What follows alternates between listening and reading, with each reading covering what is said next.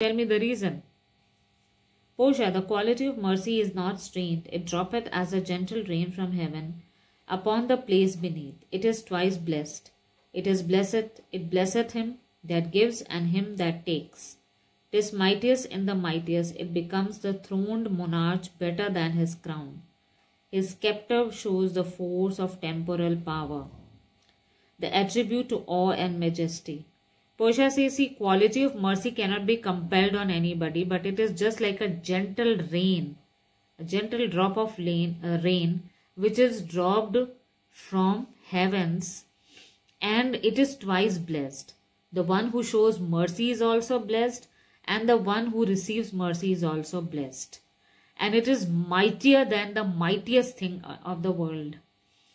And if a king, a monarch, has mercy in his heart, then this mercy makes him more powerful than the scepter or the sword that he holds in his hand. The sword that he holds in his hand is just like it is a symbol of power of him on this earth. Uh, that is a symbol of uh, creating, uh, you can say, fear in the hearts of the people.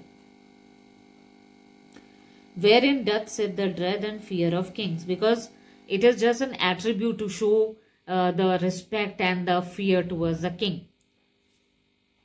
But mercy is above this sceptered way. But if that king, in spite of having the sword, shows mercy towards the people, then it is enthroned in the heart of the king. Then it becomes, uh, it makes the king more powerful than whatever he shows in the form of having a sword.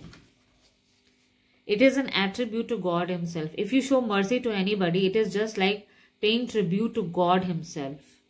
An earthly power doth then show, like his gods, when mercy seasons justice. So she says that this uh, power of mercy increases the power of anybody more than the earthly power that they show on the earth. it, it seems to be like the power of God when justice is moderated and tempered. So when justice is accompanied with mercy, then it becomes more than the power of God. Therefore, Jew, thou justice be thy plea, Consider this that in the course of justice none of us should see salvation. We do pray for mercy, and the same prayer doth teach us all to render the deeds of mercy. I have spoken thus much to mitigate the justice of thy plea, which if thou follow, this strict court of Venice must need to give sentence against the merchant there. Then she says that uh, now I have told you this thing because the just you are asking for justice. This is your plea in front of the you have applied for justice in the court. But if you um, show mercy then naturally it will give you salvation. If you do not show mercy how will you get salvation? We all pray to god for showing us mercy every day this prayer itself teaches us that we should show mercy in uh, cases uh, in some cases also towards the people. I have spoken so much about mercy just in order to make you think that you should mitigate some uh, some of your cruelty and show mercy in in this case also. But if you deny it then naturally the judgment will be against antonio Shylock, my deeds upon my head. I crave the law, the penalty, and the forfeit my bond. Shylock was adamant. He said, No, I have already determined in my mind that I should have the justice. So uh, the I need to have a bond. This is my plea towards the law. Portia, is he not able to discharge the money? Portia says, is he unable to give you back the money? Bassanio, yes, here I tender it to for him in the court.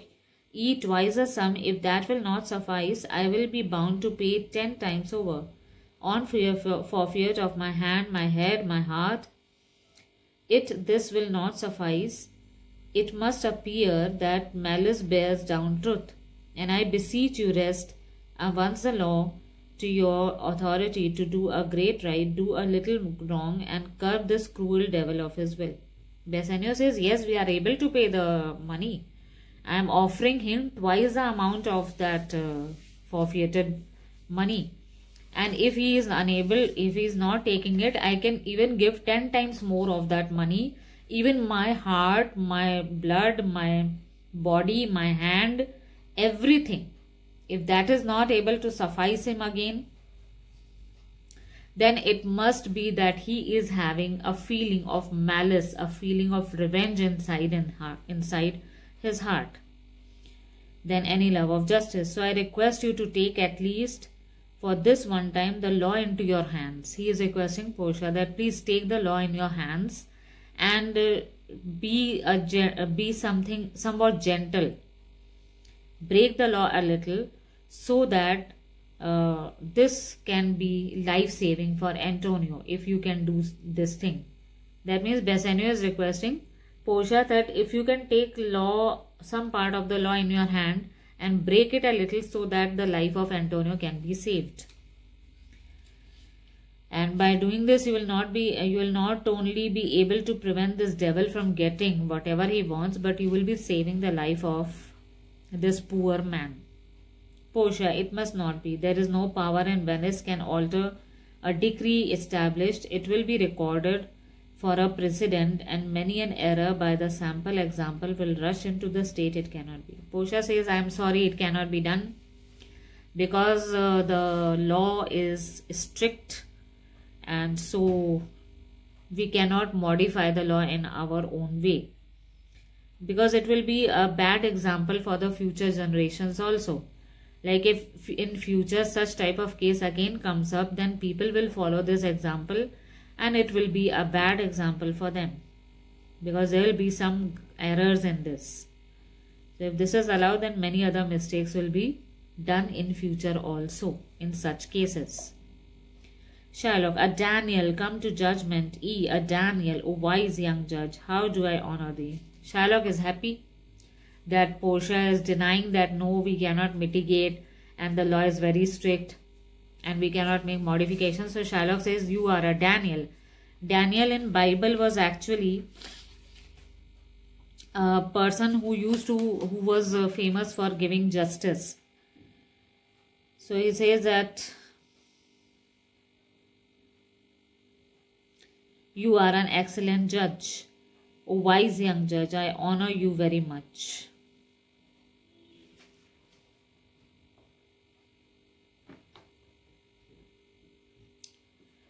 Then Portia says, I pray you let me look upon the bond. Portia says, okay, let me look at the bond first of all. Shylock, here it is. Most Reverend Doctor, here it is. Then Shylock presents before uh, uh, Portia that uh, document on which Antonio had signed, that single bond, and says that you can have a look at it. Portia. Shylock, there's thrice thy money offered thee. Shylock, an oath, an oath, I have an oath in heaven. Shall I pray perjury upon my soul? No, not for Venice. Portia says, but uh, you are being offered three times the amount. Shylock says, I have taken an oath on the Sabbath day and this oath I have to keep otherwise it will be just like um, breaking my commitment or committing a sin uh, towards my soul. So I cannot do this. I have to have my bond. Portia, why this bond is forfeit, and lawfully by this the Jew may claim a pound of flesh to be by him cut off nearest the merchant's heart. Be merciful, take thrice thy money, bid me tear the bond. Portia says, Yes, I have seen the bond has been forfeited, and lawfully you have the right to cut the pound of flesh from near the heart of uh, Antonio. But I request you that please take three times the amount uh, of the bond, and I'll tear off this bond and everything will be settled. Shylock. When it is paid according to the tenor, it doth appear you are a rubber, the judge. You know the law. Your exposition had been more sound. I charge you by the law, whereof you are a well deserving pillar. Proceed to judgment. By my soul I swear there is no power in the tongue of man to alter me. I stay here on my bond. Shylock says you can tear the bond when it has been paid once the bond has been paid and justice has been given to me, then you can tear off the bond. Because according to the terms written, everything has to be paid to me, and that is to take a pound of flesh from Antonio. and it appears that you uh, you uh, appear to be a wise judge. So your interpretation of law has impressed me a lot, and I request you that please help me to uh, have justice, and I am adamant on my uh, bond. I want to have it. No other thing can move me from my determination. Antonio, most heartily I do beseech the court to give the judgment. Then Antonio says, Yes, I also request the court to give me justice and uh, just finish off whatever is there. Portia, why then does it? Does it is, you must prepare your bosom for his knife. Then Portia says, Okay, if you are ready, then please open up your uh, uh, shirt and present your bosom so that this Jew can take the pound of flesh. Shylock, oh noble judge, oh excellent young man. Shylock is so happy at uh, Portia's proceedings and the type of way in which he says that he says that you are a very intelligent judge. Portia, for the intent and purpose of the law hath full relation to the penalty, which here appeareth due upon the bond. Then Portia says this is a judgment because the intention and the purpose of the law are fully related to whatever is there in the document. Then Portia means to say that penalty given uh, that the penalty is not against the law. Shylock, tis very true, O wise and upright judge, how much more older art thou than thy looks. Shylock says, I am so much impressed that you are more mature than you yourself in your youth seem to be. Portia, therefore lay bare your bosom. Now Portia then asks Antonio to open his shirt and present his heart, uh, that part of the body, to Shylock so that he can cut off the bond. Shylock, eh, this breast, so says the bond, doth it not, noble judge, nearest his heart, those are the very words. Shylock says, oh, here, here is the breast. Now, uh, this is the this is what is written in the bond, isn't it, wise judge? Then Portia says, It is so. Are there balance here to weigh the flesh? I have them ready. Portia says, Yes, it is so. Do we have a beam balance so that we can weigh the pound of flesh? Shylock says, Yes, I have them. Portia, have by some surgeon Shylock on your charge to stop his wounds lest he should bleed to death. Portia says, Have you arranged some surgeon also so that he may not bleed to death after you have taken out the pound of flesh from near his chest? Shylock, is it so nominated in the bond? Shylock says, Is it mentioned in the bond also that I have to arrange a surgeon for it? Portia, it is not so expressed, but what of that? I were good, you do so much for charity. Portia says, though it is not written in the bond, but it is very much understood that for charity or for uh, goodness, you should do this thing. Shylock, I cannot find it. It is not in the bond. Shylock says, but I am looking in the bond, but I do not find anything like that. Portia, you merchant, have you anything to say? Then Portia asks Antonio, do you have anything to say about it? Antonio, but little. I am armed and well prepared. Give me your hand, Bassanio. Fare you well. Grieve not that I am fallen to this for you. For herein fortune show herself more kind than is her custom. It is still her use to let the wretched man outlive his wealth to view with hollow eye and wrinkled brow an age of poverty from which lingering penance of such misery doth she cut me off. Commend me to your honourable wife, tell her the process of Antonio's end, so how I loved you. Speak me fair in death, and when the tale is told, bid her to be judge. Whether Bassanio had not once a love, repent not you that you shall lose your friend, and he repents not that he pays your debt. For if the Jew do cut uh, Jew do cut, but deep enough, I'll pay it instantly with all my heart. Antonio says, I have only little to say, and that too to my best friend. Then he says, see, I am very much prepared. I have, I have, uh, you can say, surrendered before the situation, so I am very much prepared to give my pound of flesh. Then he says to Bassanio, give me your hand, and I, for the last time, I want to speak to you. And uh, you should not be in sorrow that I have fallen in front of. That means I have to give my life because of the fate that whatever destiny has written for me. You should not repent even that for you only I have to sacrifice my life. And uh, I'm lucky that fortune has been very much merciful on me that she has given me death before my uh, old age. Because uh, if I had been suffering from such losses, then I would have to live a life of poverty. And in that also, having a lingering penance. Penance means uh, living a life of starvation. So before that time only, this fortune has been so merciful that she is taking my life before that so that I may not suffer such a long old age in poverty. So I am thankful to mercy but you should commend me that means you can tell good words about me to your wife and tell her that how my end had come how i had sacrificed my life and how much i loved you. And for your sake only i had done all the good things. Let her be the judge and let her judge that what kind of person i was. You should not repent uh, that because of you only you have lost your friend. Because I know that I am not repenting on whatever I have done for you. I am happy that for you only I am sacrificing my life. Then he says that uh, because I know that if the Jew, he cuts more deeply inside my heart, naturally at that instant only I will die and the whole, uh, you can say, debt will be paid completely. Bassanio, Antonio, I am married to a wife which is dear to me as life itself, but life itself, my wife, and all the world are not with me esteemed above thy life. I would lose all, a sacrifice them all here to this devil to deliver you.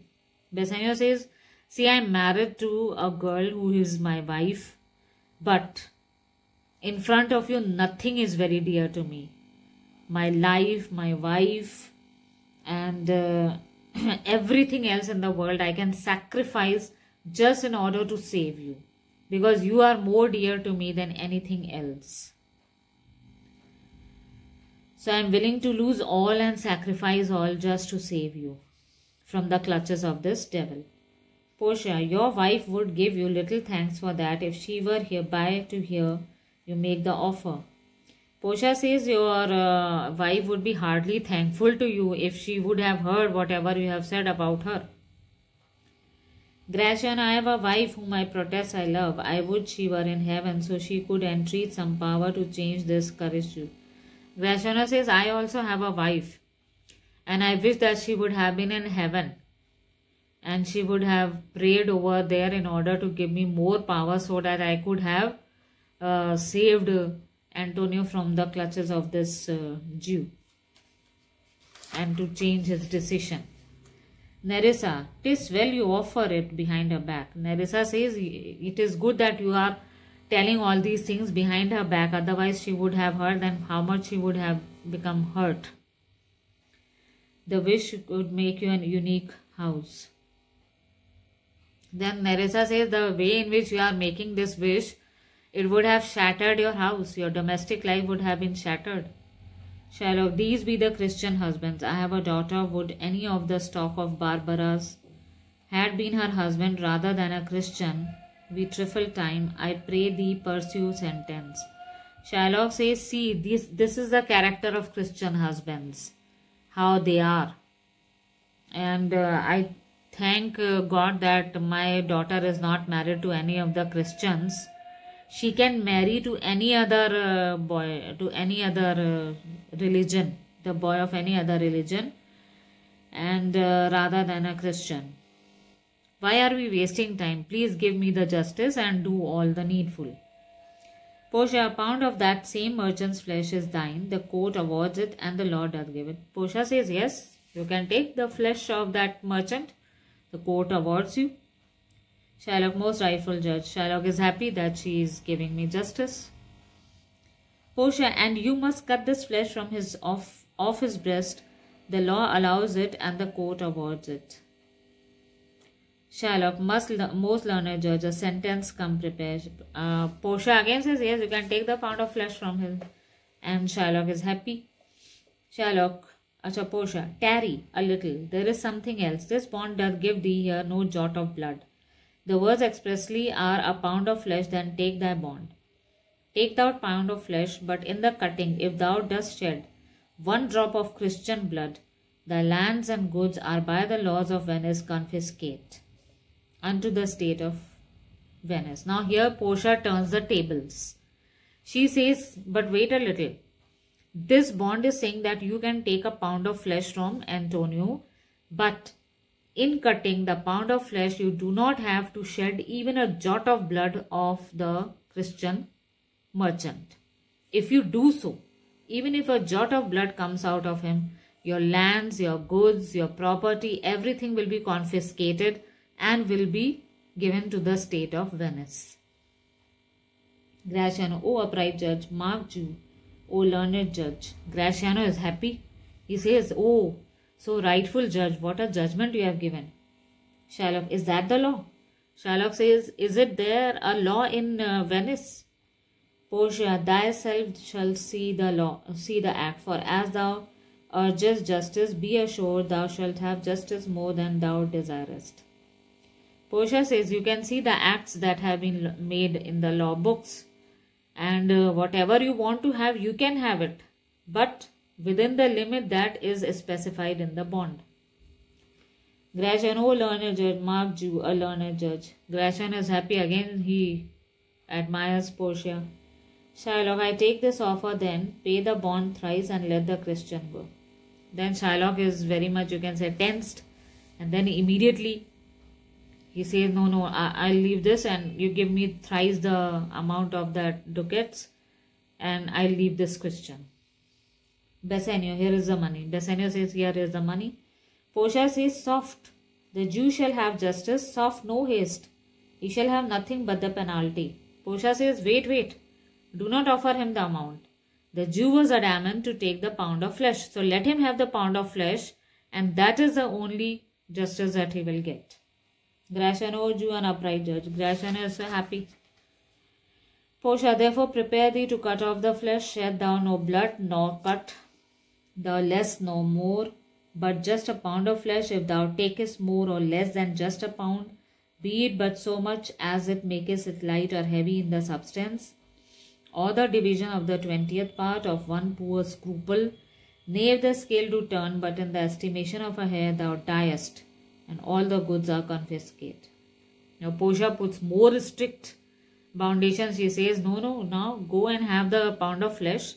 But you have to keep in mind, you will cut only a pound of flesh, not a scruple more, not a scruple less. You will have to take the exact pound of flesh according to the scale. And if you take more or less of that pound of flesh, you will die immediately and all your goods will be confiscated. Gratiano, second Daniel, Daniel Juna, infidel, I have thee on the hip. Gratiano says, This is the second Daniel. This is the true Daniel that has come up.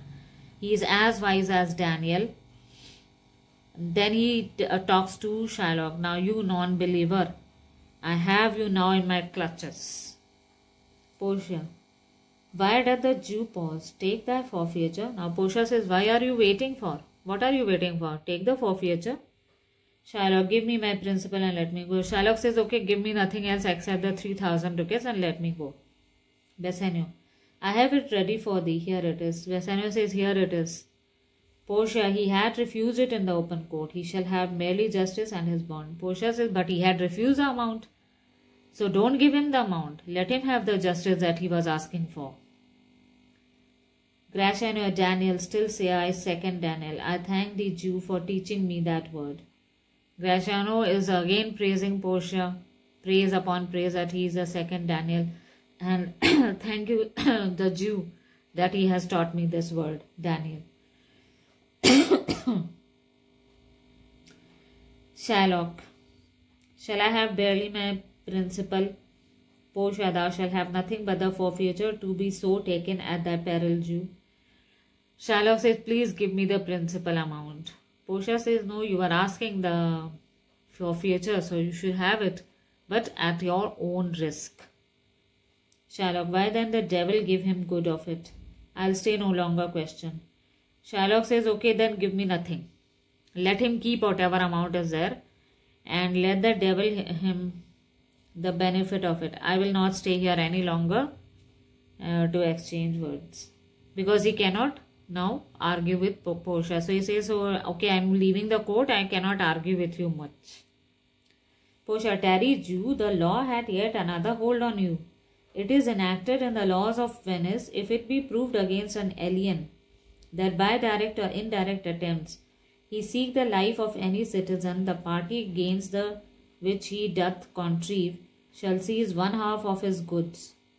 The other half comes to the privy coffer of the state, and the offender's life lies in the mercy of the duke only, against all other uh, voice, in which predicament I say thou standest, for it appears by manifest proceeding that indirectly and directly too thou hast contrived against the very life. Portia says, But wait, Jew, there is something more in the law of Venice. And the act says that if any foreigner he tries to harm the life or who, who is trying to make an attempt of taking the life of any uh, Venetian, will have to suffer a punishment. Half of his property will be given to that person on which on whom he had uh, attempted to make a attempted to take the life and half of it will go to the state of Venice. And the offender's life will lie at the mercy of the duke. So the duke will take the decision what to do with that uh, foreigner. So Shylock, I say that you have landed yourself in such an awkward position. Your position is now awkward. Now it is clear and from your of, from your reactions or plain evidence that you have indirectly and directly made plans to take the life of Antonio. So you will have to give half of your property to Antonio and half of the property to the state of Venice. And because of this, now you are up on, on the verge of dangers. So go down to your knees and uh, beg mercy from the Duke. Gratiano, beg that thou mayest may have leave to hang thyself, and yet thy wealth, being forfeit to the state, thou hast no left the value of a cord. Gratiano then speaks behind and says that what to beg of. It's better that you take a rope, ask for a rope from the Duke, and hang yourself because now everything has gone from your hand. Duke, that thou shalt see the difference of your of our spirit. I pardon thee thy life be, before thou ask it for half my half thy wealth. It is Antonio's, and other half comes to the general estate, which humbleness may drive unto a fine. Duke says, uh, now according to the court, you can see the difference of our spirit.